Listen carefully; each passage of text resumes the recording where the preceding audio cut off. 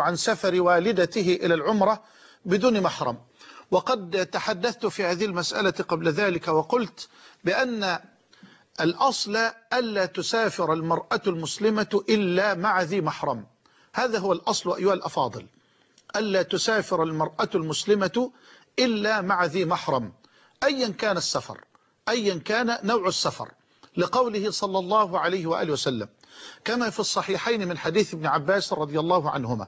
لا تسافر امرأة إلا مع ذي محرم. لا تسافر امرأة إلا مع ذي محرم. فقام رجل من الصحابة رضي الله عنهم فقال يا رسول الله إني اكتتبت في غزوة كذا وكذا.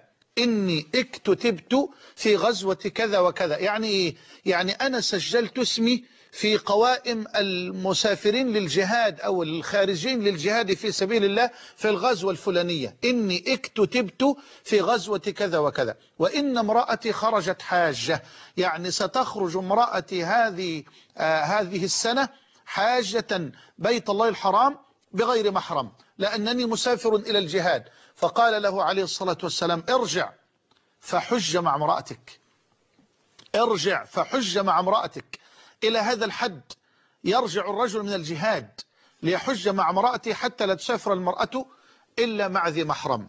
والمسألة فيها خلاف بين أهل العلم خلاف طويل بين من يحرم مطلقا أن تسافر المرأة إلا مع ذي محرم وبين من يفصل فيقول يجوز للمرأة أن تسافر إلى الحج مثلا إن كان حج الفريضة بغير محرم إن لم يتيسر لها المحرم. وهذا قول الشافعية وغيرهم أيضا. أجازوا أن تسافر المرأة لحج الفريضة بغير محرم إذا كانت في صحبة آمنة أو مع نسوة ثقات. فالمسألة فيها خلاف.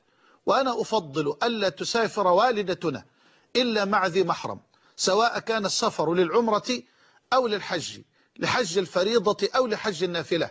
أما إن لم تجد محرما وتريد أن تؤدي الفريضة وقد من الله تبارك وتعالى عليها بالمال وخرجت في صحبة آمنة فأنا لا أنكر عليها ذلك.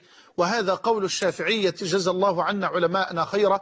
والأمر والحمد لله فيه سعة لكن أؤكد على أن الأولى والأكمل والأفضل ألا تسافر المرأة المسلمة لأي سفر أو في أي سفر إلا مع ذي محرم.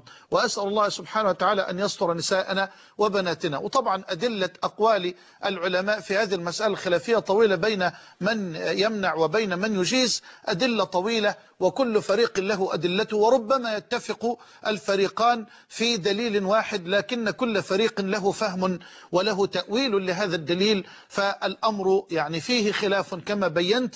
وإن كنت أرى أن الأولى والأكمل والأفضل ألا تسافر المرأة إلا مع ذي محرم. أما إن أرادت أن تخرج لحجة الفريضة ولم تجد محرما وخرجت في صحبة آمنة فأسأل الله أن يتقبل منها وألا يجعلها في حرج أو في إثم والله تعالى أعلم.